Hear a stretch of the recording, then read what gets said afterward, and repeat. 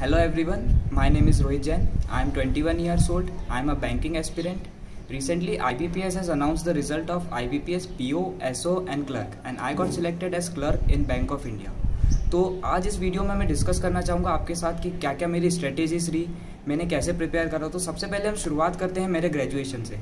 मेरा ग्रेजुएशन जो कंप्लीट हुआ, वो हुआ टू अप्रैल में और मैंने कोचिंग ज्वाइन कर ली थी जनवरी 2019 में। मेरी कोचिंग जो थी, वो थी कौटिल एकेडमी इंदौर, राजवाड़ा ब्रांच और मैंने यहीं से अपनी प्रिपरेशन करी। इसके अलावा मैं थैंकफुल हूँ बहुत बहुत मेरे पेरेंट्स का, मेरी सिस्टर ख्याति का, मेरी एक और सिस्टर परिणीता जो कि एसबीआई में वर्क करती है और मेरे जीजू भरत का।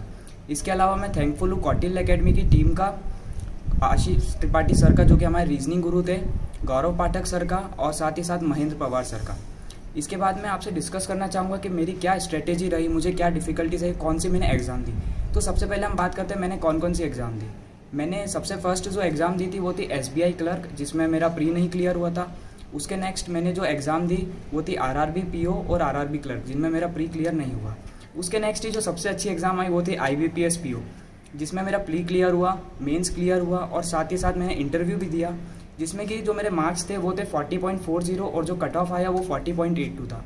इसके अलावा बस पॉइंट फोर टू मार्क्स से ही मैं रह गया और इसके नेक्स्ट मैंने एग्ज़ाम जो दी थी वो थी LIC असिस्टेंट एलआईसी असिस्टेंट में मैं थ्री या फोर मार्क्स से मेंस क्लियर नहीं कर पाया और उसके नेक्स्ट आपको पता ही है कि आई क्लर्क का भी कल ही रिज़ल्ट आया है, जिसमें मैं क्लियर कर चुका हूँ। और जो मेरे मार्क्स हैं वो भी काफ़ी अच्छे हैं। टेन मार्क्स ऊपर भी आए हैं कट ऑफ़ से और बहुत ही अच्छा एक्सपीरियंस रहा। वंस अगेन अभी देखिए छोटी वीडियो है तो मैं ज़्यादा तो नहीं आपसे बात कर पाऊँगा। लेकिन मैं जो आगे वीडियोस बनाता हूँ, उसमें मैं आपको अपनी स्ट्रेटेजी दूँगा सब्जेक्ट वाइड स्ट्रेटेजी दूँगा। मैंने अभी सारी बात बता दी है।